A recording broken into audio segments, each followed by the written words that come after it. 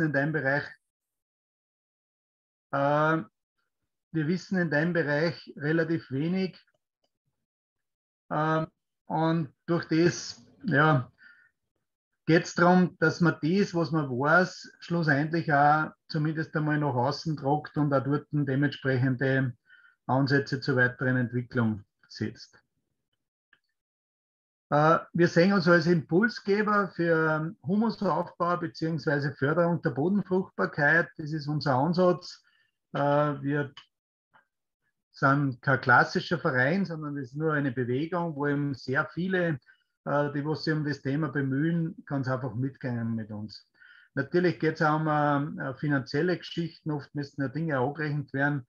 Äh, für die steht da im Hintergrund der Verein Faire Biogetreidevermarktung, ist ein gemeinnütziger Verein, äh, der das Ziel verfolgt, da dort äh, stabile Partnerschaften zum haben und, und einen fairen Handel. Und der macht sozusagen die ganze Abwicklung von der Humusbewegung. Zum Einbetrieb. Ich bin verheiratet, habe zwei Kinder, zwei Erwachsene, lebe in Oberen Waldviertel, ganz an der tschechischen Grenze, vier Kilometer von der Tschechei weg wir haben 60 äh, Hektar landwirtschaftliche Fläche, haben Rinder und Schweine, äh, sind seit 91 Bio, äh, seit zwei Jahren Umstellung auf Demeter und versuchen halt seit vielen Jahren durch die regenerative Landwirtschaft Humus zum Aufbauen. Ich weiß aber ganz gern hin, also das ist zwar errechneter Wert, aber wir haben ca. 72 äh, Tonnen Regenwürmer äh, und 600 Tonnen Mikroorganismen, für die, was wir halt schlussendlich in unseren Böden verantwortlich sind, äh, wir auch füttern müssen und wir auch dementsprechend behandeln müssen. Also das ist das, was man auch immer nicht aus den Augen verlassen sollte, dass man dort eine Verantwortung hat denen gegenüber. Es gibt einen Leitspruch, der begleitet uns sozusagen schon äh, seit vielen, vielen Jahren. Und der, heißt, der heißt, lass alles beim Alten und du, wirst die, und du wirst die größten Veränderungen erleben. Also das heißt, das Leben ist permanent im Wandel. Es ändert sich permanent alles. Äh, das Einzige, was man sagt, was beständig ist, ist die Veränderung. Äh, und darum geht es auch darum, auch in der Landwirtschaft. Wir müssen schlussendlich permanent Anpassungen machen, damit wir sozusagen den Herausforderungen äh, der Zukunft da entsprechen. Das, was ich, ich bin ja doch sehr viel auch in der Beratung tätig und das, was, ich, äh, was mir dann sehr oft auffällt, ist, dass Betriebe halt nicht wirklich ein richtiges Ziel haben. Und das ist auch unser Ansatz, dass wir gesagt haben, wir wollen ganz einfach unser, unser eigenes Ziel vom Betrieb äh, dementsprechend definieren. Und unser Betriebsziel ist sozusagen definiert mit das haben wir dann auch niedergeschrieben und das kann ich nur an jeden empfehlen, das wirklich einmal niederzuschreiben.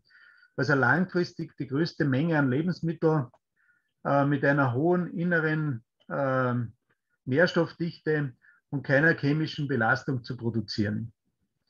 Das ist eigentlich unser Ziel, das, was wir sozusagen einmal äh, definiert haben.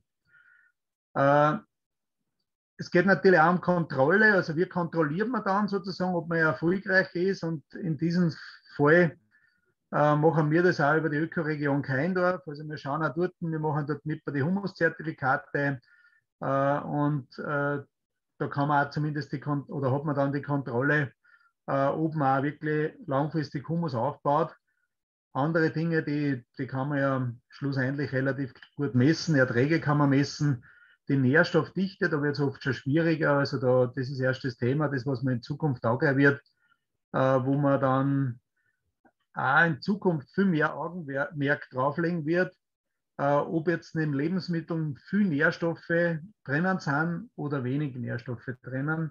Ich glaube, dass sich dort in den nächsten Jahren auch viel verändern wird und das wird in Zukunft viel mehr äh, Augenmerk kriegen in der Lebensmittelproduktion. An den, was ich ganz gerne auch immer erwähne, weil er sozusagen äh, ja, auch Teil einer Friedensbewegung ist und, und ich finde, er hat ganz gute äh, Ansätze, ist der Daniele, Dr. Daniele Ganser, ist ein Schweizer Historiker und Friedensforscher. Und er sagt, glauben Sie nicht alles, was Sie denken und glauben Sie nicht alles, was die anderen denken. Äh, ich finde, das ist so ein, ein idealer äh, Lebenssatz, wo man sagt, okay, immer das eigene Denken hinterfragen, äh, ob man dort vielleicht falsch liegt, aber auch nicht alles glauben, was sozusagen irgendwo äh, äh nach außen dran wird. Äh, sehr oft gibt es halt dort noch zwischen auch Themen, die was man sich ganz einfach auseinandersetzen kann, muss. Wenn man sich die Entwicklungen anschaut beim Menschen, gibt es ja zwei Entwicklungsmechanismen, so nenne ich das ganz einfach jetzt einmal. Äh, das eine ist der Leidensdruck. Äh, Menschen entwickeln sich sozusagen nur noch gleich, wenn sie einen Druck spüren oder einen Druck kriegen, sei es politischen Druck, äh, sei es finanziellen Druck, sei es wie es momentan ist, also der Druck vor die Wetterextreme wird immer mehr, das sind alles Drücke die, oder Leidensdrücke, mit denen was man sich auseinandersetzen muss. Das sind die einen Entwicklungsmechanismen, wo sich Menschen bewegen. Und der zweite Mechanismus ist die Sehnsucht. Und ähm, das ist mein kleiner, also von, mein, von meiner Nichte, der, der, Sohn, und der hat so eine riesige Sehnsucht, permanent mit Traktor zum Fahren. Und da sieht man schon die Sehnsucht eigentlich, die antreibt eigentlich äh, vor jungen Jahren. Und ich darf mir wünschen, dass sie die Sehnsucht für das Wissen von einer lebendigen Erde viel mehr entwickeln darf für die Menschen. Also, dass man sich mehr Sehnsucht, also nicht so warten, bis Druck von der Politik oder von irgendwo kommt, sondern wirklich, dass man sagt, hey, ich habe Sehnsucht danach, mehr darüber zu wissen, über das, was im Boden drin anspült, über das, wie funktionieren die Mikroorganismen, wie kommunizieren die miteinander. Ähm, über die Dinge ganz einfach versuchen, dort mehr zu wissen drüber. Und diese Sehnsucht, das da ich mir wünschen, wenn man das sozusagen heute gelingt, ein bisschen zu wecken bei den, bei den Menschen, ähm, weil ich glaube, wenn wir alle miteinander dort eine Sehnsucht hier entwickeln, äh, in Richtung gesunder, fruchtbarer, lebendiger Boden bzw. Erde, äh, dann, dann sind wir auch bezüglich Klimawandel einen riesigen Schritt weitergekommen. Gut, wenn man sich jetzt anschaut, Humus oder, oder Erde natürlich, äh, wird ja sehr oft als ja, mein Dreck bezeichnet äh, gibt es unterschiedliche äh, Formen. Die einen sagen halt, ja, da ist nur ein kleiner schwarzer Schmutz. Äh, Erde ist aber ganz was anderes, meiner Meinung nach. Erde ist ein wahnsinniger Lebensraum, ist eigentlich ein, äh, ja, ein Organismus, wenn man es genannt hat. Äh, es gibt verschiedene Formen für Humus, beziehungsweise äh, jeder beschreibt dann Humus anders. Äh, es hat einmal eine russische äh, Wissenschaftlerin gegeben, die hat, oder Mathematikerin, die hat einmal Humus sozusagen in eine Formel äh, gebracht äh, und hat dann eine Formel entwickelt, hochkomplex. Äh, diese Formel für Humus, äh, ja, muss man sagen, was hilft mir das? Eigentlich hilft mir das nichts, wenn ich da eine Riesenformel weiß. Aber es ist, man sieht nur, dass das irrsinnig komplex ist. Wenn man dann weiterliest, zum Beispiel ja, Wikipedia oder die Bodenkunde, die schreibt dem, Humus ist die Gesamtheit der fein zersetzten organischen Substanzen des Bodens. Ja, jetzt kann man sagen, okay, nur weil das fein zersetzt ist und organische Substanzen, es ist halt auch schwer messbar, das ist halt das Problem. Ähm, der Aristoteles hat schon 500 vor Christus gesagt, äh, Humus, das ist das lebendige Erdreich. Es ist kein Parameter, sondern ein Vorgang. Also das ist schon eher das, ist, was man eher, was ich eher als Humus bezeichne, wo man sagt, okay, es ist eigentlich lebendig und es ist ein laufender Prozess, ein Vorgang, der was sich permanent verändert und den, was man schlussendlich steuern kann in gewissen Bereichen, positiv, aber auch negativ. Äh, der Francier hat gesagt, also Humus ist ein Prozess, der muss am Laufen gehalten werden. Und ich finde, das ist auch also eine typische Aussage, äh, wo man dann sieht, okay, äh, wenn, man nicht, wenn man nicht irgendwas dazu beiträgt, äh, dann baut sich Humus sukzessive an. Äh, und schlussendlich, äh, irgendwann verändert sich der Prozess in eine Richtung, wo man dann sozusagen nicht mehr braucht oder wo einem dann nicht mehr hilft. Und darum müssen wir alles daraus setzen, damit wir den Prozess des Humus am Laufen halten. Also ich glaube, das ist eines von den wichtigsten Dingen, das was schon sehr viele niedergeschrieben haben. Äh, und ich glaube, das äh, ist mittlerweile auch in der Gesellschaft angekommen. Ähm,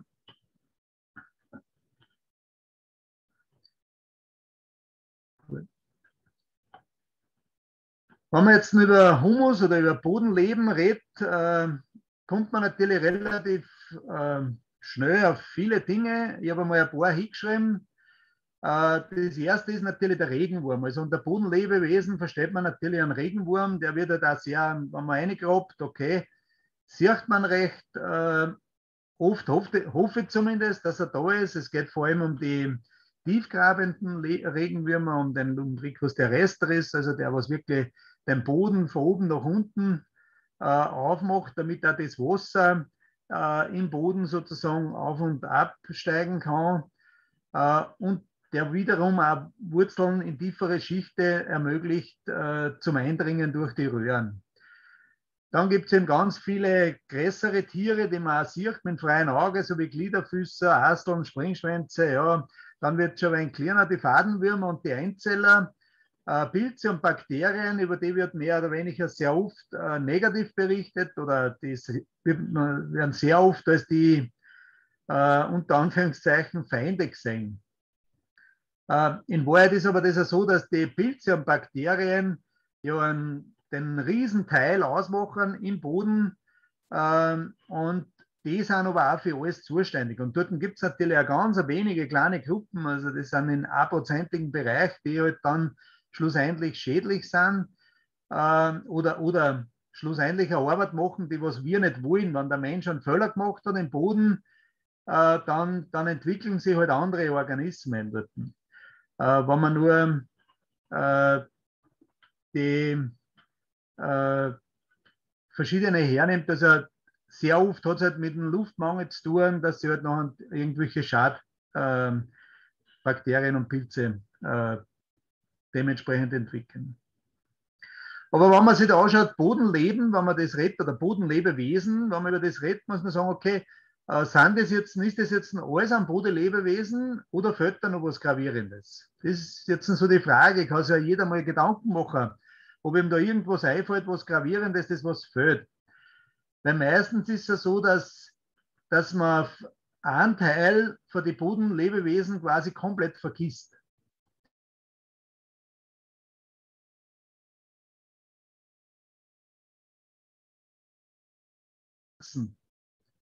Also Bodenlebewesen funktionieren nur, wenn Pflanzen da sind. Also wenn man, wenn man die Pflanze, also es gibt da einen Spruch und der sagt, der besagt, äh, wenn man den Boden die Pflanze nimmt, wird er unfruchtbar. Also das heißt, die Pflanze ist sozusagen derjenige, der die ganzen Bakterien, äh, Pilze, eine Symbiose eingeht, füttert, äh, schlussendlich durch die, durch die Photosynthese Energie im Boden einpumpt. Und auch wiederum die abgestorbenen Teile wiederum Teil äh, für Futter für andere Lebewesen sind. Also ohne Pflanze gibt es mehr oder weniger keinen gesunden Boden, beziehungsweise äh, kann Boden mehr oder weniger auf Dauer nicht gesund und, und fruchtbar gehalten werden. Mir ist das aus dem Grund so wichtig, dass man auf das so eingeht, weil man äh, schlussendlich sehr oft in der Landwirtschaft dann dazu neigt, dass man die Pflanzen äh, ja, wegrationalisiert und glaubt, okay, meine Kulturpflanzen, die genügt. Äh, und lange Zeit im, im, im, im, im äh, Jahr hat man aber dann den Boden vielleicht schwarz. Und da muss man bewusst sein, dass man eigentlich die Lebensgrundlage für, die, für das Ganze eh davon äh, nimmt. Wenn man sich dann die Entwicklung von den Kulturpflanzen anschaut, in den letzten, ja, sage ich mal 100 Jahren oder so, äh, kann man sagen, okay, früher war es so, die, die Pflanzen haben durchwegs niedrigere, niedrigere Erträge gehabt, äh, aber eine irrsinnig ein hohes Wurzelleistung. Ähm, ob da mal nur in so einem Ballen von einer Untersaat eingestellt, also die was auch gezüchtet ist wiederum für, für Wurzelleistung, und wenn man sich dann im Gegenzug anschaut, die Pflanzen, so wie es halt standardmäßig äh, jetzt überall sind, und wenn man sich dann anschaut, wie, wie hoch der Spross äh, ist in der Relation zu den Wurzeln unten, äh, da sieht man, dass das Problem, was wir haben in der Landwirtschaft, sehr oft dort beruht, dass man die Wurzelleistung sozusagen weggezüchtet hat aufgrund von Ertrag.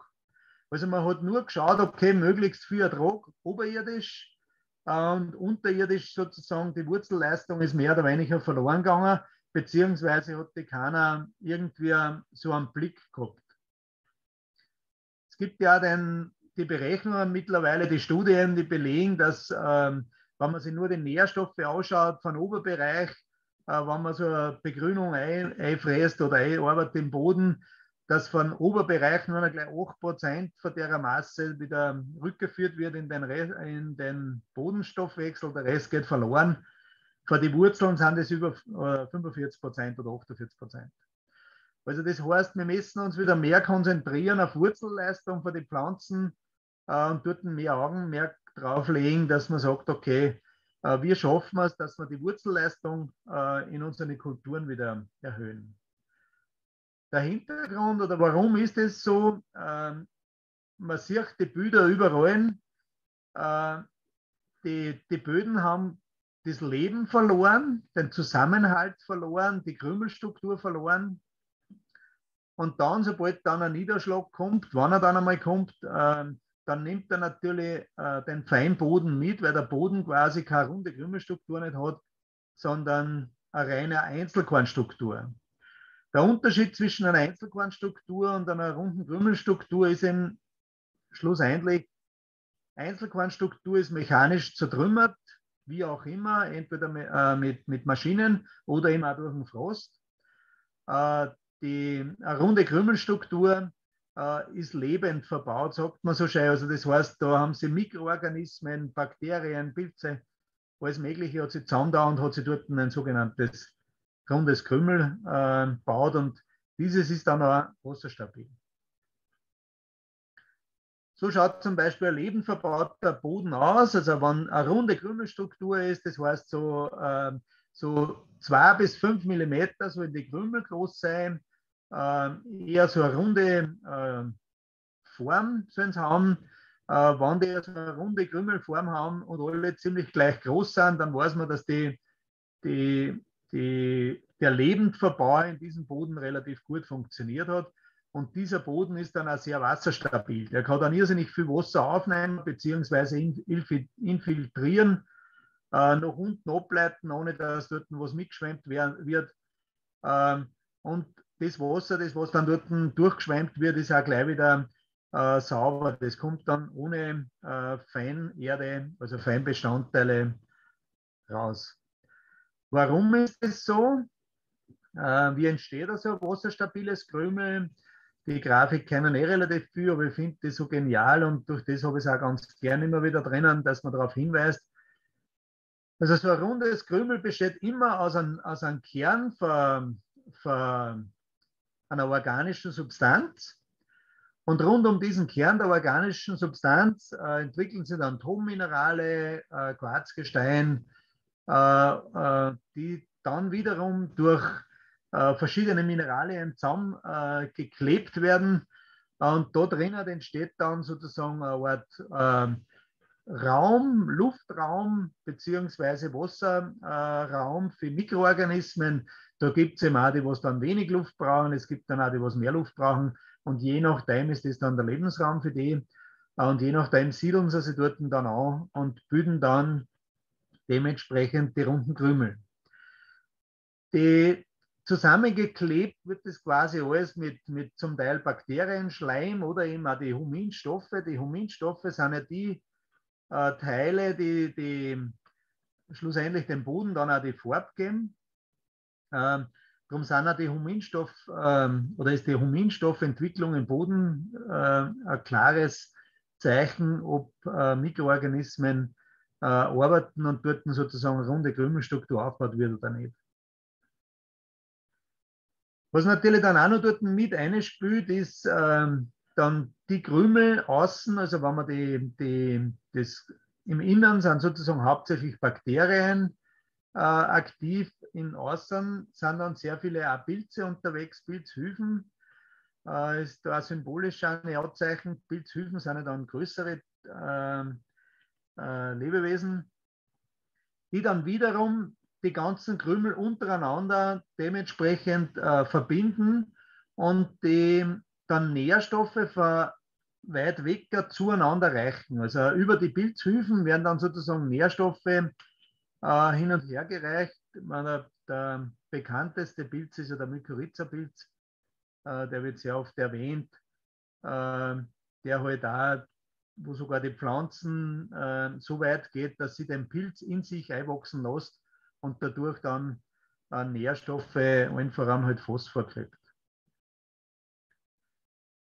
Äh, wo entstehen so Krümel, beziehungsweise wo findet man noch so, so äh, Pilze? Ich nenne ja die, die Königin sozusagen der Fruchtbarkeit, sind die Pilze. Im, im äh, Ockerbau sind natürlich sehr schnell zerstört, weil halt die Pilze eher so ein langes Geflecht sind. Und wenn man sich natürlich vorstellt, dass so ein Bakterium wenn man da mit einem Grupper durchzieht, okay, das kann nur irgendwo ausweichen, das hat nur irgendwie eine Chance zum Durchkommen. Also eine Pilzhüfe, wenn man sich die anschaut, so ein lange, äh, langer Faden, der was da, da äh, durchgezogen wird durch viele Bereiche, äh, der wird natürlich relativ schnell zerstört und, und schlussendlich auch äh, getötet bzw. gehemmt. Wenn man sich einmal Mykorrhiza-Pilze anschauen will, beziehungsweise suchen will, wenn man da in einen Urwald geht, in, wo viel Totholz ist, in Buchenwäldern, äh, dann kann man dort durchaus auch Mykorrhiza-Pilze finden. Äh, man erkennt es an so einem weißen Geflecht. Äh, man sieht es da relativ schein. Äh, das sind, schaut ein bisschen aus wie Wurzeln, sind aber Pilze. Äh, man riecht es auch relativ eindeutig, wenn man dort riecht davon. Äh, und man spürt auch das, also das sind so äh, leicht schleimige, nach Pilze riechende Fäden, die was über weite Strecken miteinander vernetzt sind. Wenn man sich jetzt so Lebensprozesse im Boden anschaut, ich meine, im Wald ist relativ klar, dort können sie die relativ gut und, und äh, soweit es geht, äh, natürlich entwickeln. Am Ocker schaut natürlich die Welt anders aus. Und trotzdem sollte man darüber nachdenken, wenn man sich über das Thema Bodenfruchtbarkeit, äh, wenn man sich mit denen auseinandersetzt, äh, was sind dann optimale Lebensprozesse äh, für die Bodenlebewesen, beziehungsweise was brauchen die? Und da kommt man dann eben relativ schnell zu dem Punkt, natürlich noch nah Lebewesen, äh, wurscht, was wir das sind, immer gleich, brauchen Nahrung. Äh, ohne Nahrung, äh, irgendwann, eine Zeit lang halten wir es aus, irgendwann äh, ist vorbei. Das Interessante ist ja, dass Bakterien zum Beispiel dort relativ lang ausharren also da gibt es ja Bakterien, die was man gefunden hat im Salz, die was Millionen von Jahren im Salz eingeschlossen waren. Und wenn man es wieder rausgenommen hat, waren die trotzdem wieder aktiv und haben sie wieder vermehrt. Andere wiederum sind relativ schnell weg. Äh, da gibt es immer, die haben einen sehr engen und schnellen Zyklus, Vermehrungszyklus, andere wieder sehr langsamen Vermehrungszyklus. Wenn man sich nur die Photosynthesebakterien hernimmt, die haben ja einen Zyklus, der da der äh, die leben in die Spalten von den Blättern. Da gibt es ein Blatt, wenn man das unter dem Mikroskop anschaut, schaut das so aus so wie eine, wie eine Gebirgslandschaft und im Tal unten drinnen sind, leben noch die, äh, die Bakterien. Und die haben einen Zyklus, einen Vermehrungszyklus von 28 Tagen. Das heißt, die, die brauchen relativ lang, bis dass die in die Gänge kommen. Hingegen andere wieder äh, vermehren sich explosionsartig innerhalb von Minuten bzw. Sekunden. Ähm, das Zweite, was man braucht oder was Lebensprozesse im Boden brauchen, sind natürlich die Steuerung der Temperatur. Ähm, das sind alles Dinge, wo der Mensch auch eingreifen kann bzw. eingreifen sollte. Ähm, wie gesagt, äh, wir brauchen Temperaturen, wo nur äh, Lebensprozesse möglich sind wenn man jetzt in den Sommer hergeht äh, und hat einen schwarzen Boden, zum Beispiel hat man dort relativ schnell Temperaturen von 45 bis 50 Grad und äh, man weiß, ob 42 Grad äh, gerinnt sozusagen Eiweiß. Das heißt, die Mikroorganismen geht es genauso wie uns Menschen, wenn wir mehr, mehr Fieber haben, wie 42 Grad, wird schwierig. äh, zum Überleben. Da haben wir dann echt ein Problem und deren geht es genauso. Und da sterben dann natürlich sehr viele an. Darum heißt es auch dort Temperatursteuerung, das ist auch ein wesentlicher Punkt, den was man sich anschauen muss. Und das dritte ist auch die Steuerung der Feuchtigkeit, beziehungsweise natürlich die, die, äh, das Wasser ist ein Thema, äh, wird immer mehr zum Thema. Es kommt entweder lange Zeit gar nicht oder auf einmal ganz viel. Also darum äh, ist ganz wichtig, dass wir dort eingreifen und sagen, okay, wie können wir den Wasserkreislauf steuern? Äh, und das werden wir sich dann auch noch genauer anschauen, äh, woran, das, äh, woran man dort arbeiten kann, damit man dort was verändert. Was haben jetzt alle drei äh, gemeinsam sozusagen, wenn man sich jetzt die Lebensprozesse im Boden anschaut äh, und sich die Nahrung, die Steuerung der Temperatur, die Steuerung der Feuchtigkeit, äh, was braucht es da überall? Es braucht überall Pflanzen. Also so schließt sich wieder der Kreis. Also äh, ohne Pflanzen gibt es keine Steuerung, äh, weder für die Nahrung, äh, es gibt keine Nahrung nicht ohne Pflanzen, äh, die Temperatur, man weiß, dass bewachsene Böden ähm, über den Winter wärmer sind und im Sommer kühler sind. man weiß, dass Pflanzen quasi durch den Sog, durch den Transpirationssog ähm, den, das Wasser von tief unten aufbeholen. sie können Regen, der was von hoch runterfällt, äh, durch die Blätter abpuffern, dass der Boden nicht zerschlagen wird. Also alles das sind Dinge, wo Pflanzen enorm äh, äh, viel dazu beitragen, äh, damit die Steuerungen der Lebensprozesse gut funktionieren.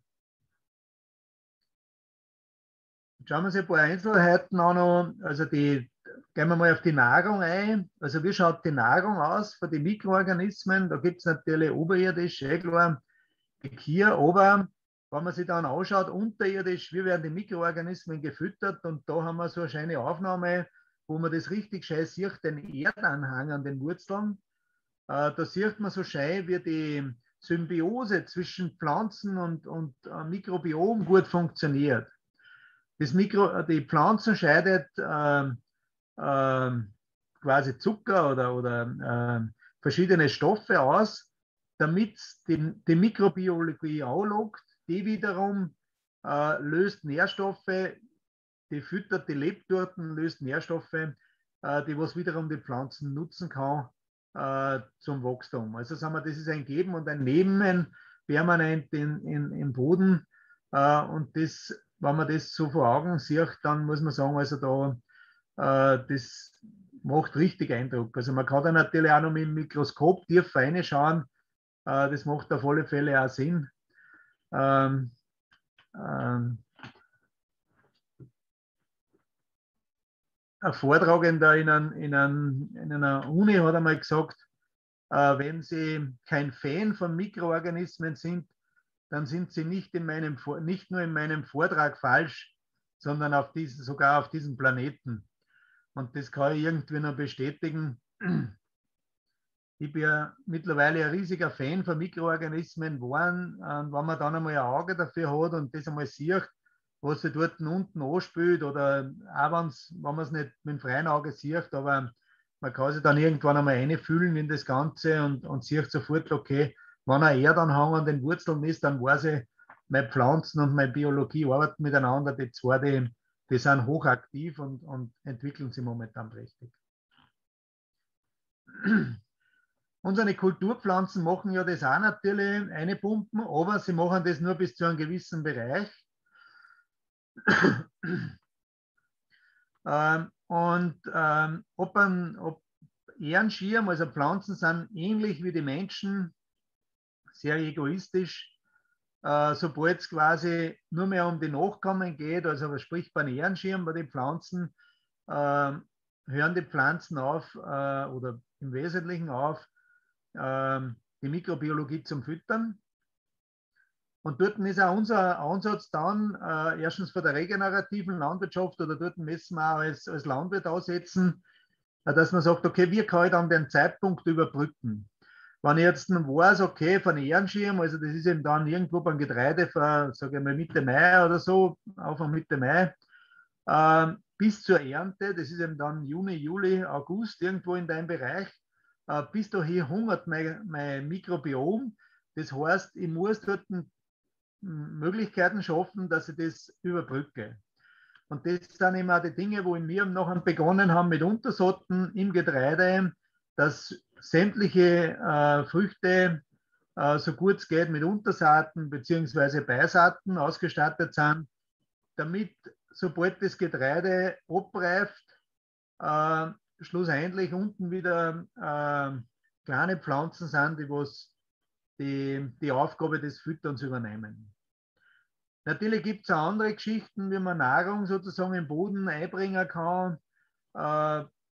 Sehr oft ist jetzt da das Thema Mobgrazing äh, ein Thema. Äh, was passiert beim Mobgrazing? Äh, es wird sozusagen Grünmasse an der Oberfläche mehr oder weniger ein Großteil zertrampelt bzw. gefressen. Durch den Verbiss werden die Pflanzen wieder angeregt zum zum Wachsen. Das heißt, sie pumpen wieder Energie im Boden ein. Ähm, die Rinder scheiden ja dann auch Kot aus. Das, der Kot beimpft sozusagen das Grünmaterial. Das, was an der Oberfläche ist, entsteht, es entsteht dann also ein Fermentationsprozess, also ein Einbau äh, im Boden. Äh, und so erhöht man natürlich auch sehr stark den, den mikrobiellen äh, Input im Boden. Äh, ist natürlich nicht für alle Regionen beziehungsweise für jeden ein Thema, aber das sind Lösungen, die was man vielleicht auch denken kann, wo man sagt, für den einen oder anderen ist das vielleicht eine ganz kurz, ähm, ja, gute Möglichkeit, äh, sich mit dem zum Auseinandersetzen. Äh, die nächste Geschichte, was man sich äh, überlegen muss, das ist, was wir auch sehr stark versuchen. Jetzt habe ich da irgendeinen Fehler gemacht. Wie habe ich das jetzt gemacht?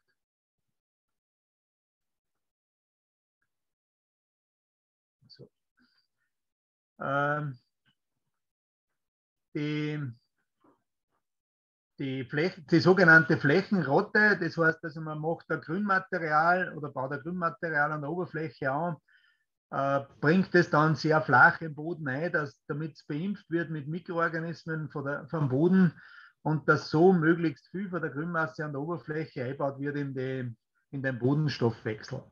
Das ist auch ein Thema, mit dem was man sich auch noch auseinandersetzen kann, wo man auch schlussendlich die Mikrobiologie füttert, äh, damit die steigt im Boden. Gut, das nächste Thema, was wir angehen, ist die Steuerung der Temperatur. Also wie steuere ich Temperatur, ist natürlich klar, jetzt kann jeder sagen, naja, ich kann jetzt nichts dafür, wenn, wenn äh, plötzlich die Sonne oberbrennt mit 36 Grad, das über Tage hinweg. Äh, ich kann die Sonne da dran, ich kann keinen kein Schirm aufspannen, äh, das ist mir alles bewusst. Aber es gibt natürlich Möglichkeiten, äh, um das Mikrobiom im Boden zu schützen. Äh, und da ist ganz einfach ganz klar, ein blanker, schwarzer Boden horzt sich natürlich viel, viel mehr auf, als wenn zum Beispiel eine Begrünung draufsteht. Und wenn man also Begrünungen möglichst eine biodiverse draufstehen hat, dann hat man natürlich dort sofort, also auf der einen Seite eine Beschattung, auf der anderen Seite einen Schutz vor äh, äh, für die Mikroorganismen und gleichzeitig wiederum pumpen diese Pflanzen ja Energie im Boden ein, damit äh, das Mikrobiom wieder gefördert wird. Also das ist eins von den Sachen, wo man wirklich äh, sehr stark darüber nachdenken soll, dass man in den heißen Phasen äh, schauen soll, dass man möglichst immer einen Bewuchs drauf hat auf die Flächen und möglichst keine äh, schwarzen Flächen nicht äh, bei Hitze irgendwo ausgesetzt hat. Das, was ja mehr oder weniger doch, eh, die meisten wissen, alle, die was schon mal in den Wald spazieren gegangen sind, äh, wissen das, äh, im Wald ist immer andere Temperatur als wir im Freien. Ähm, Im Sommer ist es kühler, im, im, im, im Winter ist es wärmer. Äh, und darum, das ist auch was, das, was man sich in gewisser Hinsicht zunutze machen kann. Äh, wo man vielleicht langfristig auch in manche Gebiete nachdenken wird messen, äh, ob man nicht dieses System Wald irgendwo äh, nutzen kann oder sollte, äh, weil das eine relativ einfache Möglichkeit ist, alleine durch die Beschattung, auf der anderen Seite auch durch die, zum Teil tiefe Durchwurzelung, äh, entsteht dann ein anderer Wassertransfer im Boden. Also das sind alles Dinge, wo man sagt, okay, da kann man drüber nachdenken. Äh, natürlich kann man Wald nicht überall pflanzen, beziehungsweise äh, ist halt der Wald dort, wo er ist. Aber man kann also über Systeme nachdenken, so wie Agroforst, wo man sagt, in manchen Gebieten kann das ganz einfach äh, durchaus eine Option sein, äh, um Böden auch zu kühlen. Man hat auch zusätzlich nur den anderen Nutzen, äh, dass man eine zusätzliche Ernte hat. Also wenn man das klug macht, kann man in Summe äh, sozusagen die Erntemenge erhöhen oder den Ertrag erhöhen von der Fläche. Es geht halt auch nur darum, es muss irgendwie auch politisch oder, oder fördertechnisch äh, relativ einfach umsetzbar sein, weil an den scheitern wir ja momentan sehr oder scheitern momentan sehr viele Betriebe, dass sagen, das ist ganz einfach so ein derartiger Aufwand, äh, die ganze Digitalisierung und das und dann, wenn einmal dort ist, bringen mehr weg und so und, und äh, das sind lauter Dinge, wo man auch, glaube ich, politisch arbeiten muss, dass man sagt, okay, die Dinge, die müssen in Zukunft einfacher gehen, damit das auch umgesetzt wird, weil das, glaube ich, äh, da sehe ich irrsinnig viel Chancen, gerade im Trockengebiet, äh, dort die Produktion auch wirklich langfristig aufrechtzuerhalten. Äh, und das letzte, der dritte Punkt ist dann die Steuerung der Feuchtigkeit. Also das heißt, äh, wie gesagt, natürlich können wir alle miteinander nicht den Regen steuern. Also wir können jetzt nicht sagen, na gut, wir brauchen jetzt einen Regen und jetzt lassen wir es halt einmal Ringen. Äh, oder ähm, so wie es heuer teilweise gewesen ist, wo man sagt, okay, naja, äh, jetzt, jetzt war es dann schon wieder mal gemur, jetzt drehen wir halt an, das können wir nicht machen. Also Regen ist halt, den, den, mit dem müssen wir so leben, so wie er ist. Äh, das, was wir machen können oder wo wir daran arbeiten müssen, ist, dass, dass wir mal verstehen, äh, wie entsteht Regen, äh, wie entwickelt sich der, warum entwickeln sie momentan die, die Niederschläge so, wie sie sich entwickeln. Äh, und das ist einmal der Grundstock, den was man mal vielleicht wissen sollte, damit man sich dort einmal ein bisschen einstellen kann drauf. Der Ingmar Prohaska, unser Außennetzmitarbeiter, hat ja auch mal eine Grafik erstellt, sozusagen eine Animation, wie, wie Regen entsteht. Also wenn man Regen entsteht durch ähm, die Feinteile, die was in der Luft schweben, äh, aus, die was ausgeschieden werden für die, für die Pflanzen. Äh, dort haften sie äh, Wasserstoffionen dran äh, und die steigen ganz einfach auf. Und je nachdem, wie die, äh, die Haftung ist von den Ganzen, je nachdem steigen die höher auf oder niedrig auf. Und es gerade im Wald, äh, durch die ganz vielen feinen Teilchen äh, entsteht sozusagen äh, da relativ schnell ähm, ein starker Regentropfen und der fällt dann relativ schnell wieder äh, zu Boden beziehungsweise löst sich auf. Ähm, das zeigt er da damit der sauberen Luft, also das sind die Teilchen, äh, die Aerosole, die was sie dort andocken an die, an die Pilzsporen und an die Bakterien und dann die äh, Pflanzenpartikel. Und die docken sich sehr stark an das und durch das, weil die, so, die, die Wasserstoffionen sehr stark äh, vorhanden sind, äh, entsteht, sobald das in die Luft steigt, so ein derartiger Gewicht, dass der dann relativ schnell wieder zerfällt. Hingegen, wenn eben die Luft zum Beispiel äh, verschmutzt ist, und wenn da sehr viele Feinteile in der Luft sind, sehr viele Partikel, äh, dann steigt sozusagen die, die, der Wassertropfen viel höher in die Höhe. Und wenn er äh, stärker in die Höhe steigt, entsteht eben noch ein äh, klassisch, so wie da bei der verschmutzten Luft, die Wassertropfen, die binden sich nicht zusammen, sondern die schwirren nur da drinnen um, um in dein Feinstaubmolekül. Äh, und durch das haben sie dann ähm, nicht das Gewicht, das wieder runterfallen, sondern steigen viel höher in die Luft und kommen dann natürlich als Starkniederschlagsereignisse bzw. Hageln wieder zur Erde zurück.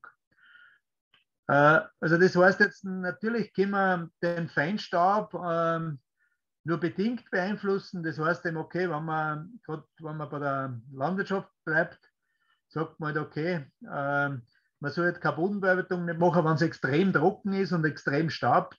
Auf der anderen Seite ist natürlich der Feinstaub auch sehr stark äh, von Autoabrieb, für die Asphaltstraßen, für generell für die ganzen äh, äh, Ausgasungen, für überall äh, dem geschuldet. Also dort muss man natürlich auch schauen, dass man seine Hausaufgaben macht, aber auch die Landwirtschaft hat dort einen gewissen Teil dazu zum Beitragen und kann dort auch auf alle Fälle was beitragen.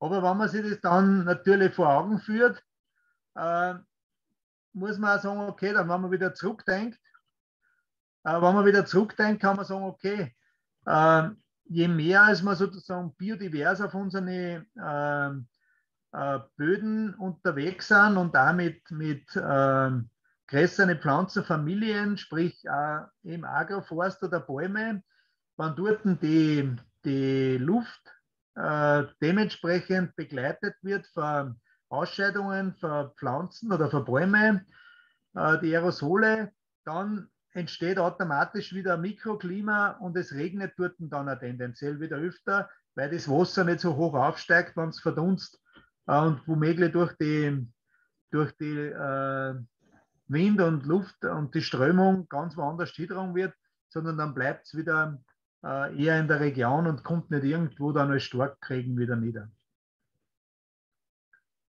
Was natürlich auch noch ein Thema ist, ist, äh, um das, was man sich kümmern muss, wenn man sich um das Thema äh, Wasser bzw. Wasserhaushalt äh, kümmert, ist äh, Böden, die sehr, äh, zum einen sehr verdichtet sind oder dicht gelagert. Da ist ja ein wesentlicher Unterschied.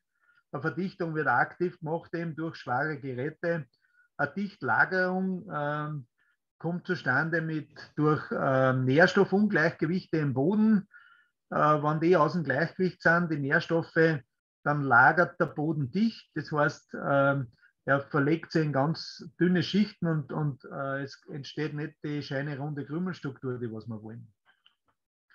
Und sobald der Boden dicht gelagert ist oder eben verdichtet durch große Maschinen, ähm, entsteht sozusagen äh, Wasserstau äh, im Boden. Also das heißt, die Pflanzen kann immer wurzeln, die kommt nicht mehr zu dem Wasser, beziehungsweise äh, die Nährstoffdynamik im Boden wird eine andere. Also das heißt, die, die gasförmigen äh, Nährstoffe äh, gehen im Boden immer auf und ab, äh, unter anderem auch natürlich der Wasserstoff. Äh, und, und durch das verhungern dann auch die oder verdürsten dann auch die Pflanzen. und das zweite ist eben, dass die Pflanzen nicht tief vorbekommt mit der Wurzel, weil es die, äh, die, den Verdichtungshorizont dann nicht durchbrechen kann. Beobachten kann man das dann auch natürlich auch mit der Sonde. Also ich habe dort nochmal äh, am Spaten sieht man eher den Oberboden, da sieht man das mit der Sonde. Äh, da prüft man sozusagen, ist der Boden nach unten schön offen, beziehungsweise gibt es irgendwelche Verdichtungsschichten. Wenn das so ist, dann muss man sich ganz einfach drum kümmern.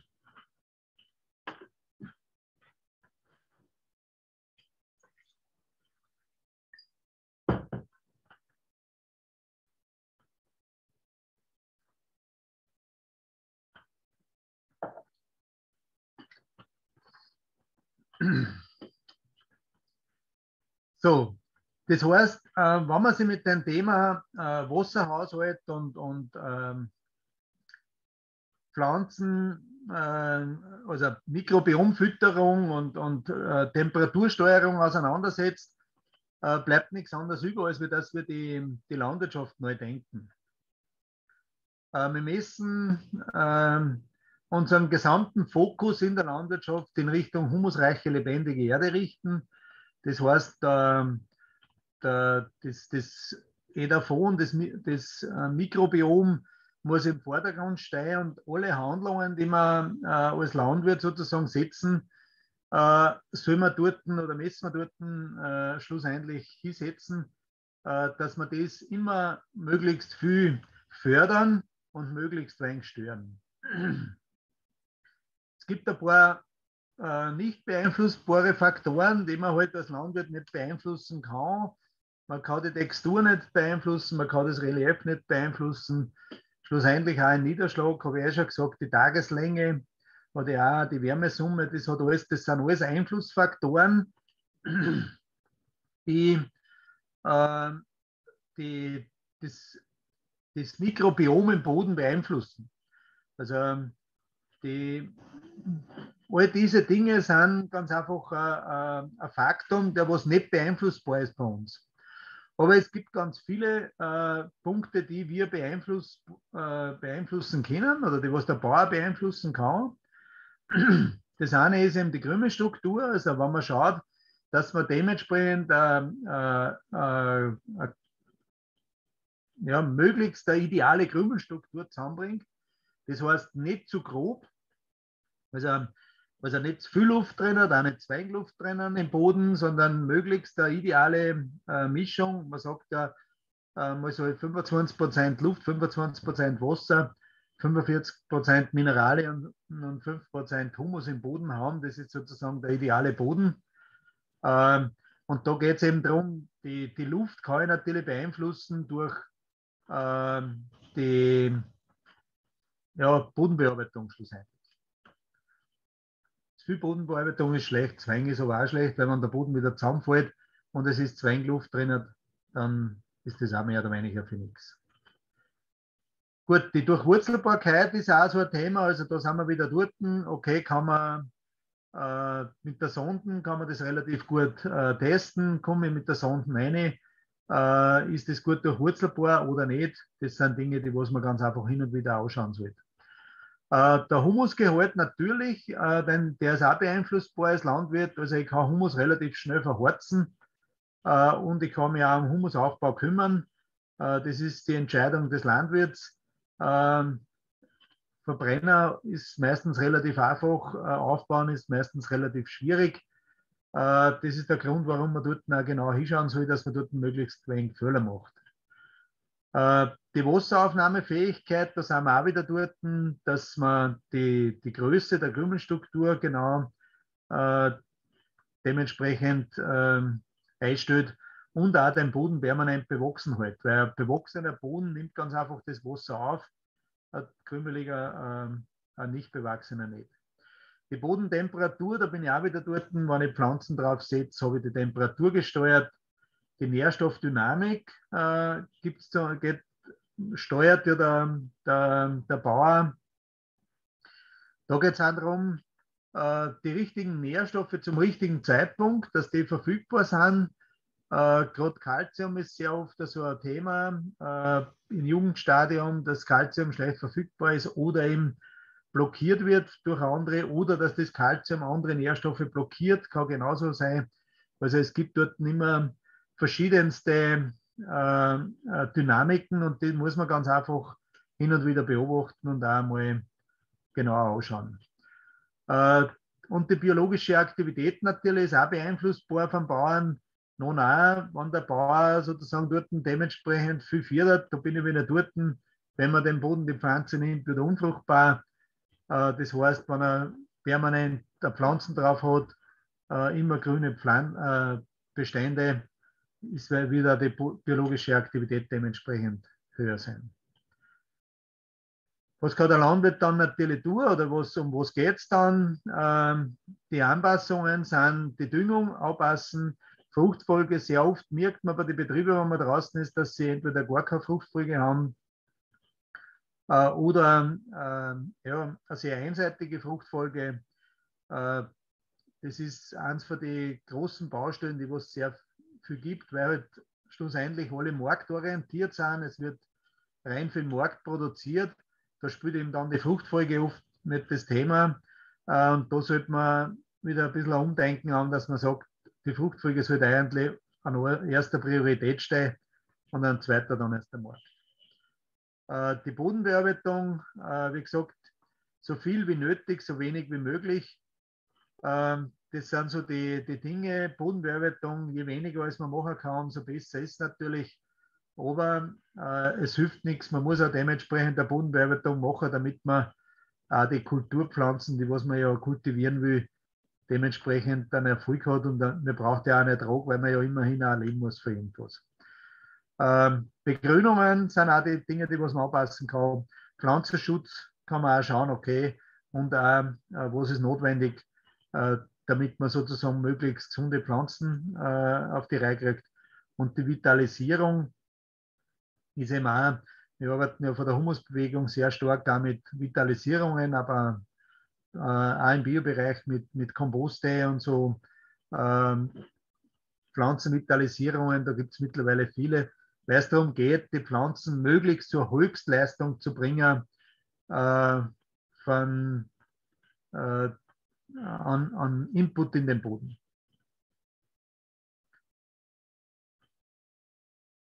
Äh, wir arbeiten ja nach der regenerativen Landwirtschaft. Die, die regenerative Landwirtschaft ist äh, sozusagen die Basis, äh, wo wir begonnen haben, äh, dann durchaus auch umzudenken. Also kommen wir aus der, aus der Direktsaat. Wir haben, ich habe mich seit 2000, seit dem Jahr 2000 beschäftige mich mit Direktsaat äh, und sind seitdem auch fluglos. Äh, die, die Schwierigkeit dort war natürlich dann, dass wir eigentlich nicht verstanden haben, dass die Nährstoffdynamik eine andere ist. Und äh, die, sobald die Nährstoffdynamik sozusagen sich verändert, äh, ist das Problem, dass die Pflanzen dann natürlich womöglich dahin hungern oder, oder dass sie Dichtlagerungen im Boden entwickeln und lauter so Sachen. Äh, und darum muss man, gerade wenn man sich mit, mit ähm, regenerativer Landwirtschaft oder minimaler Bodenbearbeitung auseinandersetzt, äh, muss man ganz einfach die, die Basensättigung, also die, die, den, den, den Pool, äh, wo sie die Pflanzen ernähren, äh, anders im Blick haben, als wenn man pflügt über tiefe Schichten und den Boden sozusagen permanent sehr stark mineralisiert.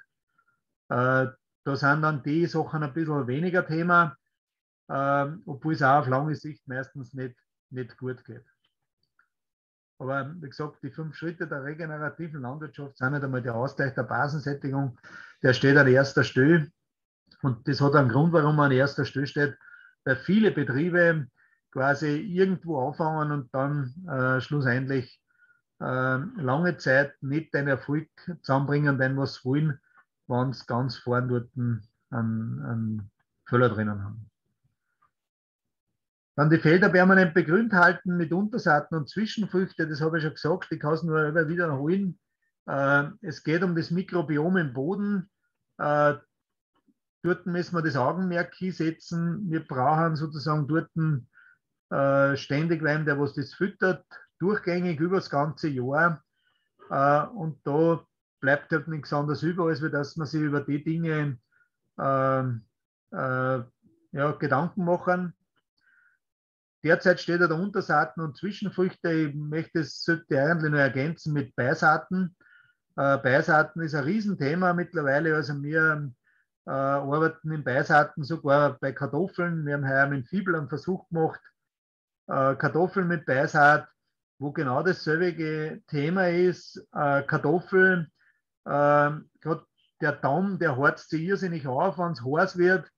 Äh, und wenn dort natürlich dann eine grüne Pflanze steht und so bleibt der ganz einfach gekühlt und, und äh, hält das Wasser viel besser äh, und, und äh, hält auch die Pflanzen gesund dann. Das sind Dinge, äh, wo wir noch viel lernen müssen oder werden in den nächsten Jahren. Äh, da heißt es viel Versuche machen auch in dem Bereich, äh, was für Kulturpflanzen äh, passen dort am besten rein. Es gibt da viele, die was Erfahrungen haben dort mit eben, wie verhindern Drahtwurm, da gibt es dann wieder Pflanzen, die was dann dort die Dinge schlussendlich auch positiv verändern. Hat auch wiederum die Gründe, der Drahtwurm, der natürliche Feind von Drahtwurm ist ja der, seine Pilze. Äh, und wenn wir dort dann in die Beisaaten sozusagen Pflanzen eingeben, die was sehr stark mykorrhizieren oder die was die pilzliche Flora sehr stark fördern, dann ist sozusagen das wiederum der Gegenspieler für die Drahtwürmer Ähm, so kann man sich auch da an das Thema ein bisschen herantasten und das wird auch wahrscheinlich in den nächsten Jahren noch sehr spannend, dort dementsprechend der Weiterentwicklung zu sehen und zu machen. So. Äh, das dritte ist dann die Flächenrotte bzw. Sappelbereitung. Also da geht es ja darum, so habe ich auch schon gesagt, dass 8% der oberirdischen Masse äh, oder die, die Nährstoffe, die was in der oberirdischen Masse drinnen sind, äh, werden nur im Boden eingebaut. Also 8%, das ist eigentlich gar nichts. Jetzt habe ich da an der Oberfläche relativ viel äh, Material und ich verpufft es sozusagen in die Energie oder die ganze Energie in das, ja, ins All oder, oder in, also nicht ins All, in die Luft, äh, oder eben in, in, es wird ausgeschwemmt im Boden und macht dann auch wiederum Probleme.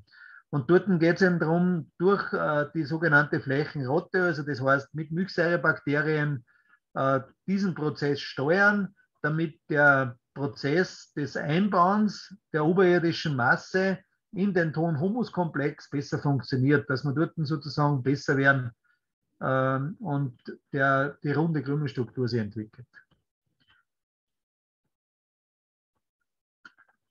Äh, das nächste ist den Boden beatmen durch schonenden Eingriff mit lockerer und sofortiger Lebendverbauung.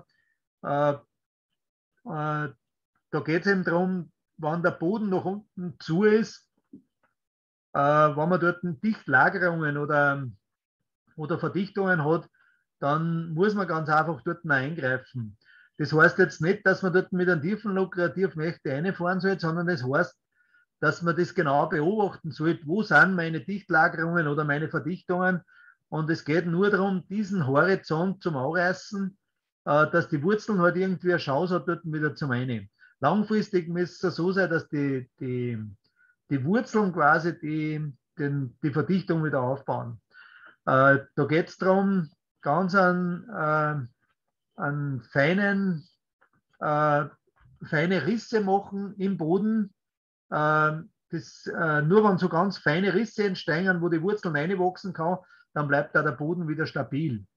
Äh, wenn dort zum Beispiel die, die äh, wenn man durch einen lockeren, einen sehr groben Boden aufreißt, dann entsteht, rinnt die Feinerde sozusagen wieder in die, in die Risse ein und es entsteht die nächste Verdichtung wieder. Das heißt, die Verdichtung wird dann nur stärker äh, durch die innere Erosion, als was vorher war. Und das ist eigentlich das, was man verhindern soll. Und darum, wenn man lockert, immer mit sofortigem Lebensverbau, also das heißt immer äh, Pflanzen einwachsen lassen. Ja, und der Punkt 5 ist dann der, gesunde Pflanzen durch Vitalisierung. Das heißt, äh, wir brauchen sozusagen eine Höchstleistung an Photosynthese äh, auf den Beständen. Nur wenn die Photosyntheseleistung extrem hoch ist für die Pflanzen, dann äh, schaffen wir es auch, die, die, die, Biologie extrem stark zum Führen. Und das wiederum baut ja dann schlussendlich auch Humus auf. Also wenn wir Humus aufbauen wollen, dann müssen wir dort schauen, dass wir wirklich vitale, gesunde Pflanzen haben, die was eine Höchstleistung an, an Photosynthese bringen.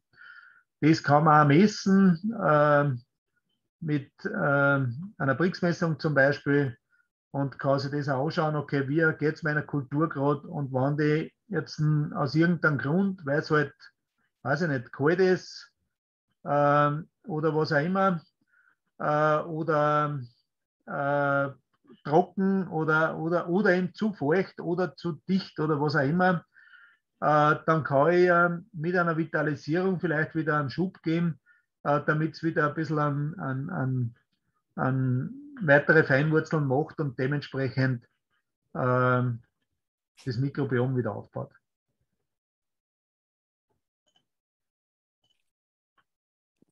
Gut, das Buch Regenerative Landwirtschaft von Dietmar Neser äh, kann ich nur empfehlen. Das ist so ein, wirklich ein gutes Handbuch äh, wo mehr oder weniger die regenerative Landwirtschaft sehr gut beschrieben ist.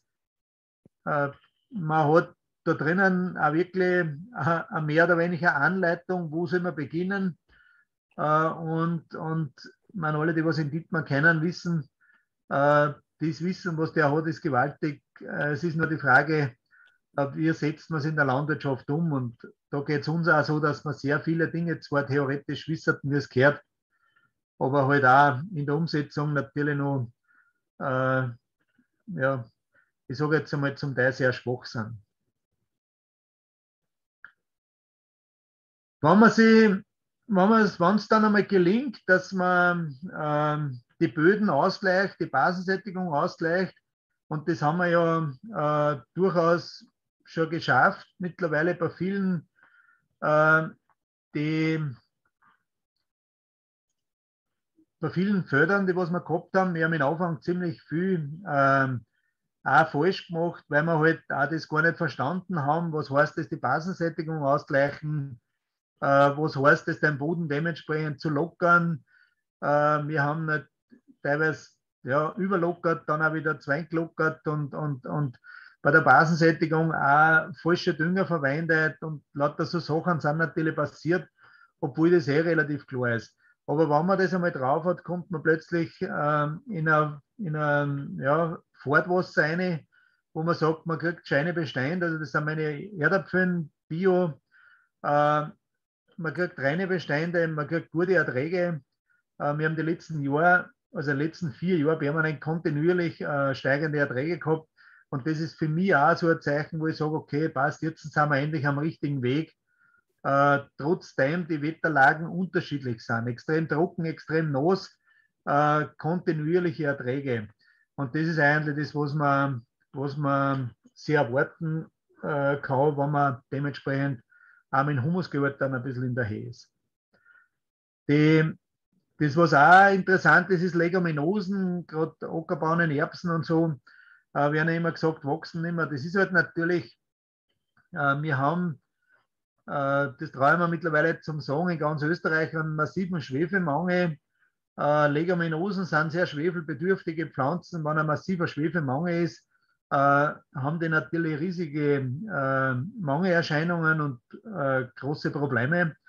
Seitdem uns wir um die Dinge gekümmert haben und schauen, dass wir dort eine Balance haben.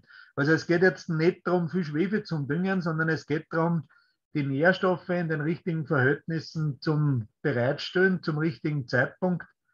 Ähm, und dann geht so richtig die Post ab bei den Kulturen und, und äh, sind ja dann total stabil auch im Ertrag. Äh, auch schwierige Kulturen, ebenso wie Ackerbahnen oder, oder Erbsen oder was auch immer beschäftigen uns auch mit Mais und das bei uns herum in Waldviertel bei 600 Meter, äh, äh, 600 Höhenmeter.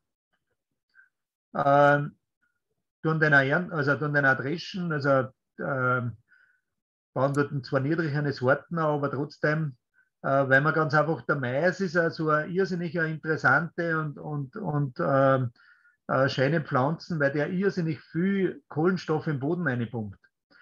Und wenn man den Mais in der Fruchtfolge dementsprechend nutzt, äh, als äh, Kohlenstoffpumpe sozusagen im Boden, dann kann der irrsinnig viel positive Eigenschaften haben.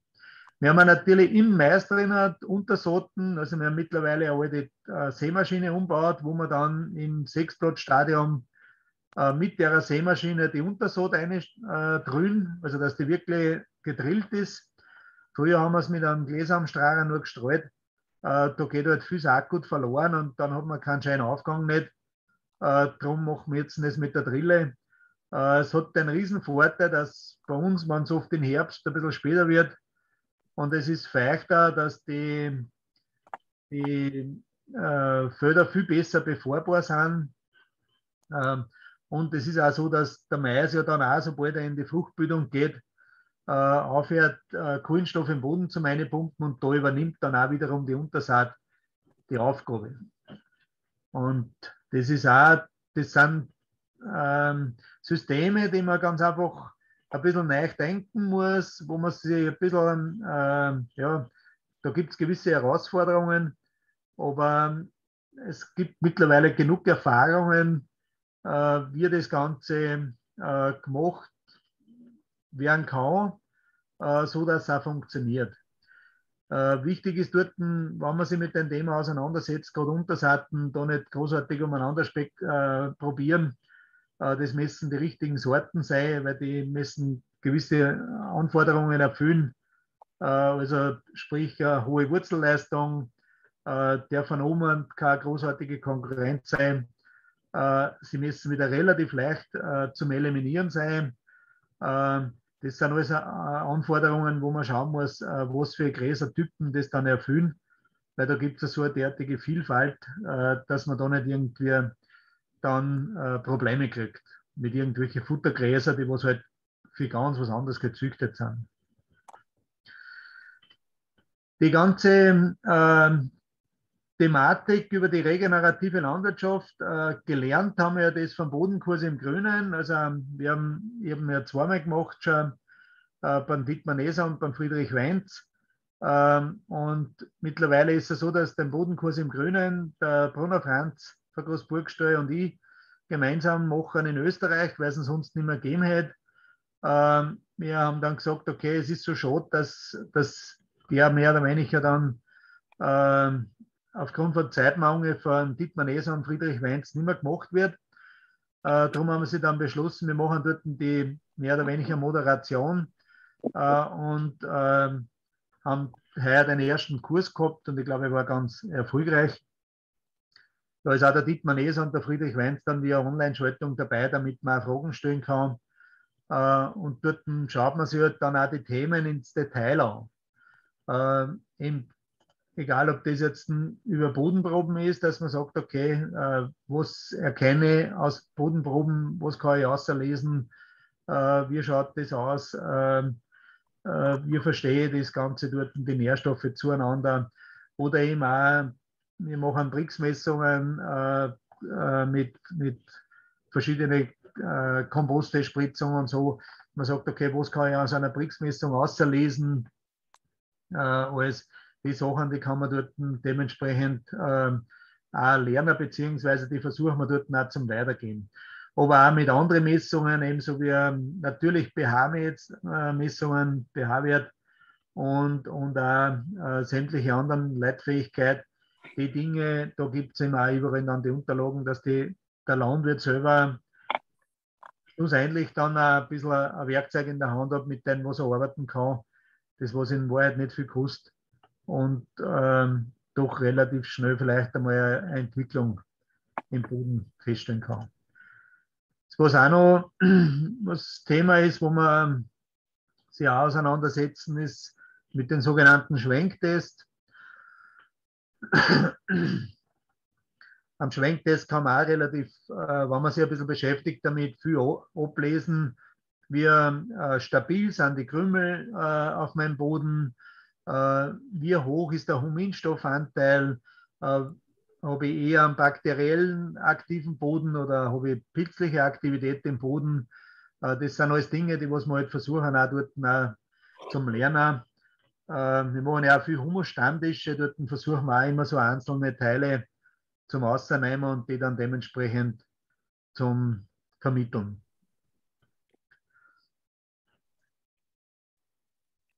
Gut, schlussendlich ähm, komme schon langsam zum Schluss.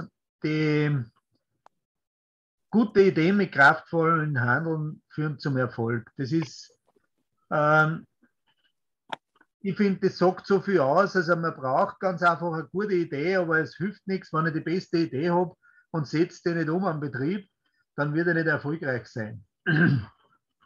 Das heißt, ich brauche das kraftvolle Handeln.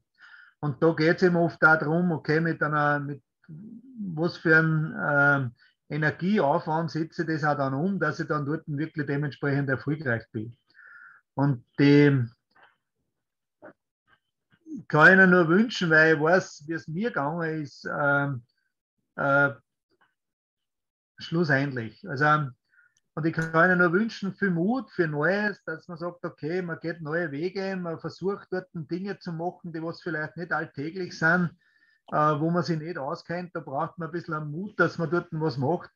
Aber es geht auch um die Konsequenz, dass man noch Dinge umsetzt, wo man sagt, okay, ich weiß, dass das richtig ist, aber wir setzen das um. Um das geht es auch äh, dann braucht man natürlich auch ein bisschen Geduld.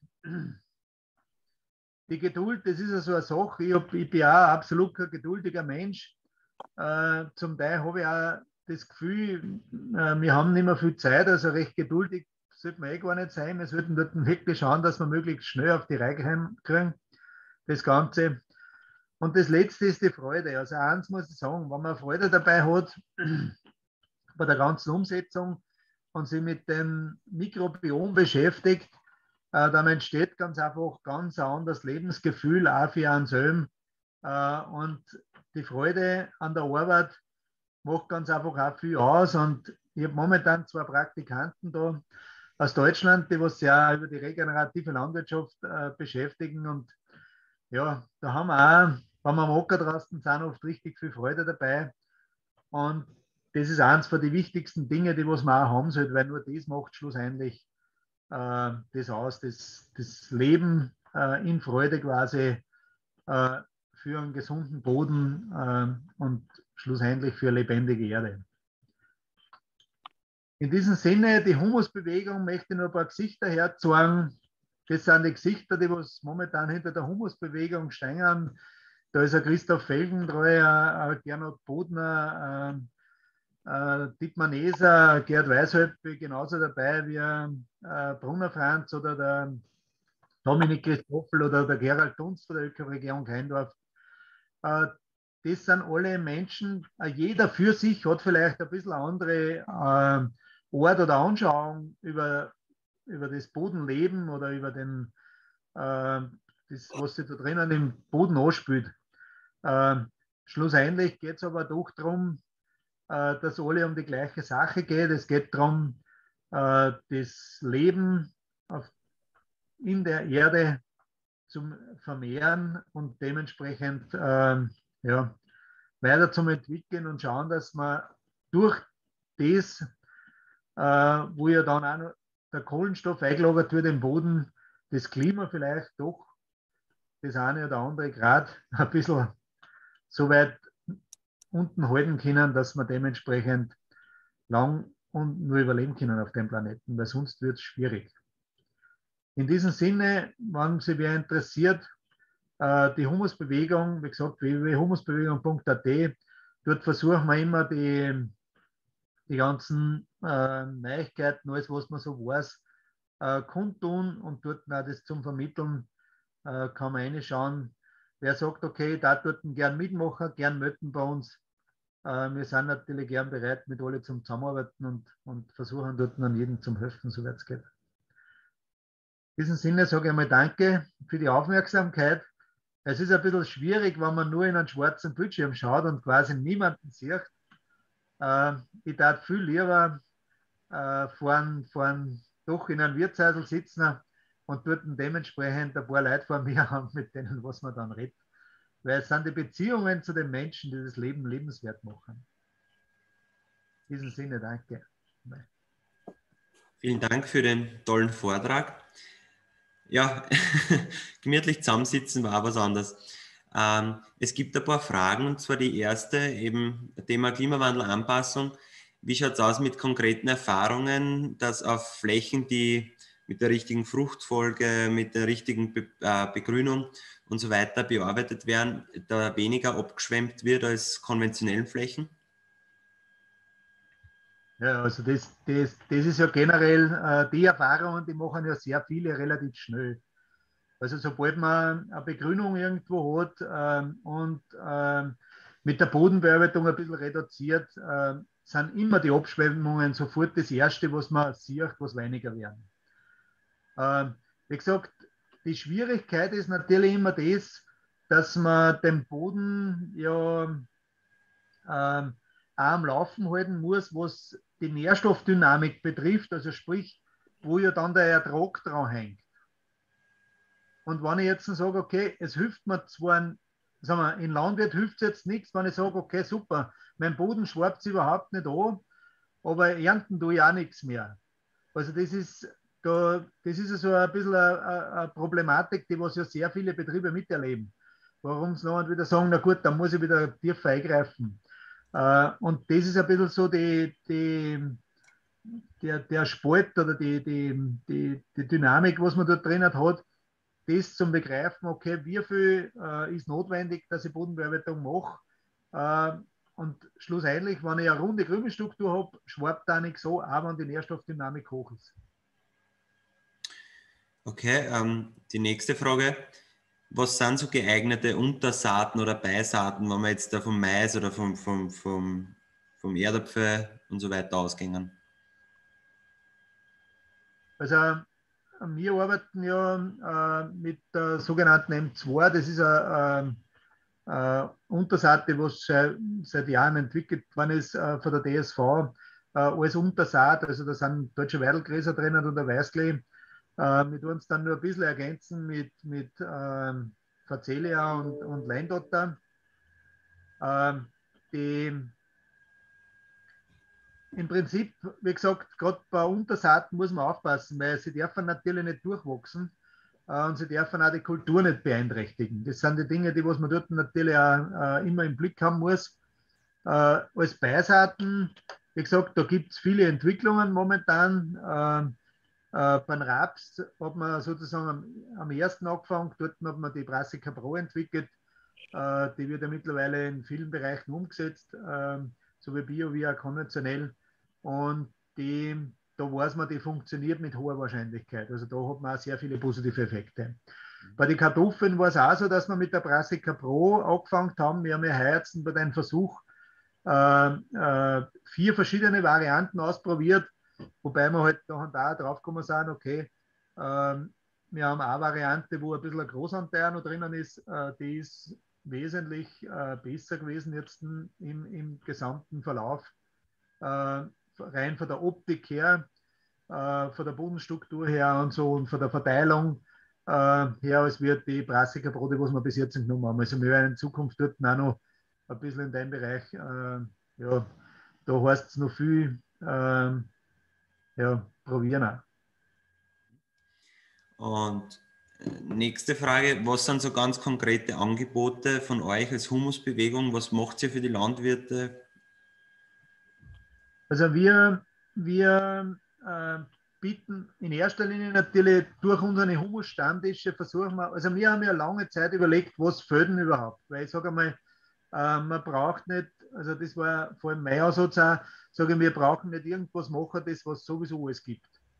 Ähm, und ich sage mittlerweile, es gibt mittlerweile tausende ähm, äh, Videos, die was man sich im Internet anschauen kann, wo man, wo man alles über, über Bodenfruchtbarkeit sieht. Also da kann man stundenlang sozusagen sich Vorträge anhören. Ähm, die Schwierigkeit ist immer dann, wenn der Landwirt direkt am Acker draußen die Entscheidung treffen muss. Da ist er dann alleine. Ähm, und das ist eben das, wo natürlich auch die, die äh, auch für uns die Herausforderung ist, wo wir sagen, okay, wenn wir die Landwirte genau dort helfen wollen, wo es dort die größten Probleme gibt, äh, das sind nicht meistens dann auch die Bereiche, wo halt äh, ich sage mal, das, was am schwierigsten ist oder am, am, am schlechteren zum Finanzieren ist, weil du hast lange Anfahrtswege, wenn du dort äh, zu einzelnen Bauern dann hinfährst, und dem dort eine Beratung vor Ort bieten willst. Ähm, jetzt machen wir halt das so, dass wir das viel mit Humusstammtische in Kleingruppen machen, wo man sagt, okay, ein paar Betriebe schließen sich zusammen äh, und wir gehen dann dort hin und, und versuchen direkt auf die Betriebe dann äh, eben das zu erörtern, was, was für Maßnahmen als notwendig sind. Weil das Problem ist ja meistens, dass man, äh, man fährt irgendwo hier auf einen Betrieb und schaut sich dort auf einen Betrieb was Tolles an dann kommt man heim am eigenen Betrieb, will das umsetzen, funktioniert nicht. Äh, also man muss am eigenen Betrieb sozusagen wen haben, der was dann sagt, okay, unter deinen Bedingungen, mit deinen Geräten, äh, was du hast, äh, mit den Gerätschaften, war das am besten, wenn du es so machst. Und das ist das, was wir versuchen zum Umsetzen. Mhm. Jetzt war ja bei Humus-Stammtische schon dabei, als Außenstehender und nicht als Landwirt, aber ich habe das total faszinierend gefunden, welche Versuche ihr da macht vor Ort, die eigentlich sehr, sehr primitiv sind, aber viel aussagen. Ähm, was sind das so für, Versuche? Ja, eigentlich Versuche. Wir, wir versuchen halt Dinge zu messen. Also der Dietmar Neser sagt immer, äh, alles, was man messen, wiegen und zählen kann, soll man auch messen, wiegen und zählen. Äh, und das ist das, was wir versuchen natürlich. Äh, eines von den wichtigsten Dingen, wo ja viel zu hingeschaut wird, ist der pH-Wert. Äh, der pH-Wert verändert sich ja permanent. ähm, ähm, der, der, der, den muss man sozusagen als Landwirt im Blick haben. Wenn man den nicht im Blick hat, hat man echt ein Problem. Das nächste ist natürlich, wo man sieht, äh, ob jetzt ein, ein Boden äh, einen starken Niederschlag aushält oder nicht. Äh, da kann man einen Wasserversickerungstest machen. Man schlagt ein Rohr äh, zum Beispiel äh, in eine Erde rein und füllt dort äh, einen Liter Wasser ein oder, oder simuliert dort oder 5 Liter Wasser und simuliert dort einen Niederschlag von 100 mm und schaut, okay, wie mhm. lang braucht der, der, der Boden, äh, damit er das Wasser aufnimmt. Und da haben wir zum Beispiel in Weinviertel unten auch einen Versuch gemacht, wo man halt auf der einen Seite, ich glaube, ist jetzt nicht ganz im Kopf, in noch drei Minuten äh, oder, oder nein, nach 20 Minuten, glaube ich, waren die 100 mm Niederschlag weg. Und bei den anderen haben wir dann noch eine halbe Stunde abgebrochen. Äh, und wie wir das ähm, außer war das nur mehr Gatsches, nur mehr Zrun. Also, ähm, und das sind die Dinge, die was man halt dann auch sehr veranschaulichen kann, wo man sagt, okay, äh, was passiert, wenn der Regen dann einmal kommt? Weil irgendwann kommt er ja. Es ist ja nicht so, dass er gar nicht kommt. Irgendwann kommt er und da soll er aber im Boden gehen und er soll aufgenommen werden und nicht äh, ja, irgendwo wegrennen und womöglich nur Erden mitnehmen, die was dann vielleicht irgendwo anders wieder ein Problem macht. Und bei dem Humus-Stammtisch habe ich auch halt erlebt, wie du ähm, an die junge Landwirtschaft appellierst und immer wieder sagst, ähm, dass sie rausgehen müssen aus dem Traktor. Ein Traktor fahren ist zwar irrsinnig schön, aber sie müssen halt auch einmal absteigen und sich den Boden anschauen. Und das ist ja, mich hat auch total fasziniert, dass man sogar durch Schmecken wissen kann, was dem Boden fehlt oder was der Boden braucht. Also gerade der Geruch, und das ist ja das, was ich sehr oft in die Online-Seminare auch bekrittel. Normalerweise müsste jetzt jeder von uns äh, zumindest eine Hand von Erden bei sich haben und dort nochmal riechen. Weil äh, der Geruch von der Erde ist das Um und Auf, also man riecht so derartig für außer. Ich sage immer, der Herrgott hat uns nicht umsonst die Nase nicht mitten gesetzt ins Gesicht, äh, sondern das hat einen Grund gehabt. Der, das, das ist eigentlich das wichtigste Teil, das was wir haben und wo man eigentlich relativ schnell entscheiden kann. Ähm, dann, ist das jetzt ein angenehm, äh, ist das jetzt ein guter Geruch oder ist das ein, ein, fauliger Geruch? Ähm, das sind Dinge, die braucht man eigentlich niemanden lernen. Das kennt man relativ schnell. Also, wenn was stinkt, stinkt es. das, das, äh, das kann man relativ schnell feststellen. Und wenn man, und man riecht da sogar zum Beispiel die Aktinomyceten, die Fadenpilze, oder? Die riechen so, gerne so beschrieben, so ruhmig, äh, karotig, äh, so kellerartig, äh, so angenehm halt, oder? Und da weiß man, okay, wenn die Fadenpilze einmal da sind, das ist schon mal relativ ein gutes Zeichen, dass der Boden in einer sehr weiten Entwicklung ist, weil da ähm, sind schon viele Dinge dann in die richtige Richtung unterwegs. Und wenn du jetzt durchs Weinviertel fährst und die Landwirtschaft anschaust, wie sollte die jetzt ausschauen? Was wäre der Wunsch? Ja, also wenn ich, ich bin ja doch relativ viel unterwegs und äh, äh, Gott sei Dank muss ich sagen, weil ich bin gern draußen auf die Felder, auch im Weinviertel. Und ähm, ich habe einmal die Aussage gemacht, ich habe gesagt, also wenn das Weinviertel äh, nicht oder wenn dort nicht bald ein Umdenken ist und so wird dort sozusagen äh, die Landwirtschaft äh, mehr oder weniger äh, ja, an die Wand fahren, beziehungsweise äh, es wird dort keine Landwirtschaft nicht mehr geben. Äh, ich glaube, dort muss, ähm, weil auf der einen Seite gibt es natürlich Gebiete, die was sehr stark bewässern können, dort funktioniert es ja nun natürlich, aber es gibt Gebiete, wo äh, man nicht mehr bewässern oder wo es halt irgendwie dann nicht mehr geht. Und die Frage ist, ist das sinnvoll, weil das Wasser zum Aufverbunden. Und da muss ich sagen, eh die, die, das, was ich die Grafik, darum habe ich die Grafik dort auch mit einer da. Ähm, die, die mit, den, mit der Wasserstoffdynamik im Boden. Äh, ich glaube, dass das Weihviertel gut beraten wäre, wenn sie sich mit Agrokultur auseinandersetzt, wenn sie sich äh, äh, mit Mobracing auseinandersetzt, wenn sie sich mit all diesen Dingen auseinandersetzen darf. Ähm, ich glaube, das sind die, die, die zukunftsträchtigsten ähm, Systeme, äh, wo man wahrscheinlich nur irgendwie langfristig äh, äh, eine Landwirtschaft aufrechterhalten kann. Sonst wird das irgendwann einmal Wüste oder Steppe. Ja, jetzt da weiß ich aber, dass ihr jahrelang schon experimentiert und probiert und die Zeit wird schon ein bisschen knapp, oder? Ihr habt ja da über eigentlich 10, 20 Jahre schon eure Erfahrungen gesammelt und, und, und braucht, bis ihr quasi gewisse Böden einstößt, wenn ich das jetzt so leinhaft ja. sagen kann. Ja. Also hab, wir haben letztens mit Christoph Felgentreu auch wieder ein Treffen gehabt und er hat auch gesagt, sagt er, hey, er hat echt, echt ein bisschen Angst, dass wir es nicht mehr da rennen, wie es momentan ausschaut. Also es ist wirklich schlussendlich Feier am Dach und ich glaube, es ist Zeit, dort auch dementsprechend zum, zum Arbeiten.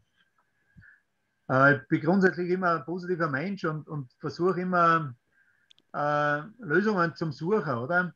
Und ich denke, es hilft mir nichts, wenn wir jetzt in irgendeine Resignation verfallen, sondern wir müssen nur ganz einfach die Dinge angehen. Ganz einfach, so wie ich gesagt habe. Äh, ein bisschen Mut haben für was Neues, äh, die Dinge konsequent umsetzen äh, und auch dementsprechend versuchen, dort mit Freude an die Sachen herangehen und nicht nur das ganz letzte Finanzielle vielleicht sehen, sondern ja, einmal ein bisschen doch weiterdenken und sagen, okay, in Summe äh, wird es vielleicht dann wieder zurückkommen. Und es gibt dann einen kleinen Spruch, den was ich auch ganz gerne immer verwende. Man muss Geld gerne ausgeben, dann kommt es auch wieder gern zurück.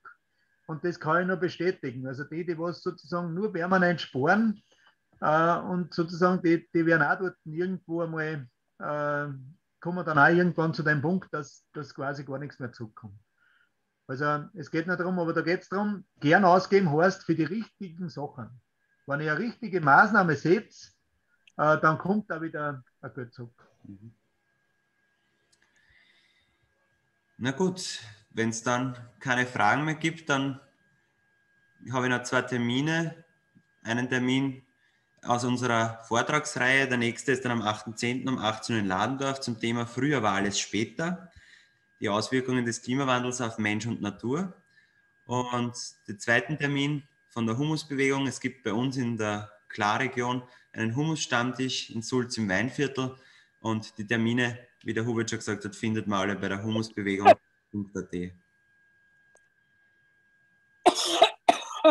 Alex, kann man da kommen zum Humusstammtisch?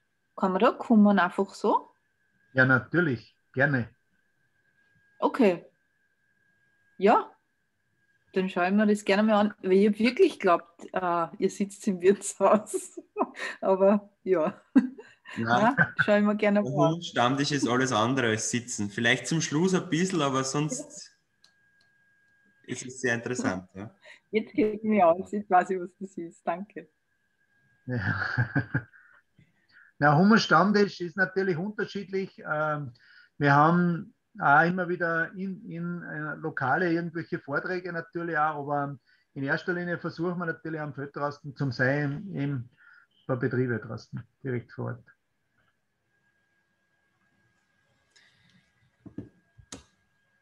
Gut, dann bedanke ich mich herzlich bei dir, lieber Hubert. Danke für den tollen Vortrag und den Input. Ich glaube, wir können uns einiges mitnehmen und es liegt viel Arbeit vor uns, ähm, vor allem bei uns Klarregionen mit der Bewusstseinsbildung da einige Akzente zu setzen und zu schauen, dass da ein Umdenken stattfindet, weil es ist nicht mehr 5 vor 12, sondern 5 vor 12, sondern schon wirklich 5 nach 12 und wir müssen was tun. So, ich also vielleicht auch noch kurze Werbung, Werbung in eigener Sache machen, eh für die Klarregion, aber nicht bei euch unten, sondern bei uns. Aber wenn es wem interessiert, die Klarregion Litschau oder, oder weiß ich gar nicht, wie die, nein, Oberes Waldviertel heißt die Klarregion. Ähm, da haben wir eh gemeinsam mit der Humusbewegung äh, die Anita Idel jetzt dann am kommenden Freitag da. Also gibt es ja die Termine, gibt es auf der Humusbewegung. Also die Anita Idel hat ja das Buch geschrieben, die Kuh ist kein Klimakiller. Als eine deutsche äh, Tierärztin und, und äh, beschäftigt sich damit dem Thema äh, eben schlussendlich am Abgräsing und, und, und ähm, eben dass schlussendlich die Wiederkäuer Humus aufbauen. Und das, äh, glaube ich, ist auch ganz spannend. Also, wenn das wer interessiert, das ist am Freitag am Abend. Äh, und am Samstag in Oberösterreich haben wir noch einen zweiten Termin mit ihr. Darf ich vielleicht noch eine Frage stellen, bevor wir jetzt Schluss machen? Ja. Ihr kennt Herrn Hubert eine Frage. Ich bin Landwirtschaftslehrer in Mistelbach, ziemlich ja. in der Nähe von dem nächsten Stammtisch, den du da magst. Darf ja. ich da mit einer Schülergruppe auch vorbeikommen? Ja, natürlich. Also das sind 20 junge Leute, die ja, Betriebe haben. Äh, das ist die Agrohack von Mistelbach und La.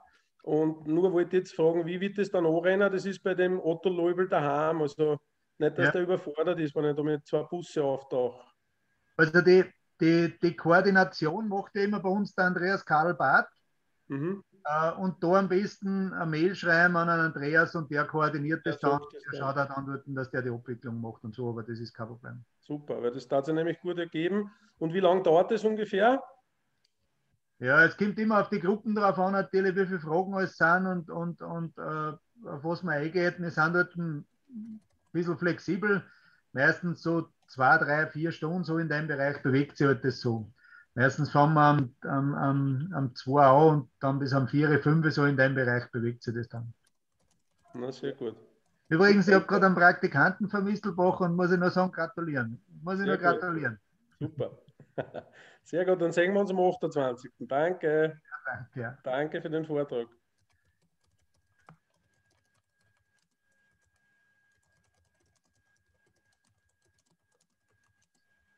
Okay, gibt es sonst noch weitere Fragen?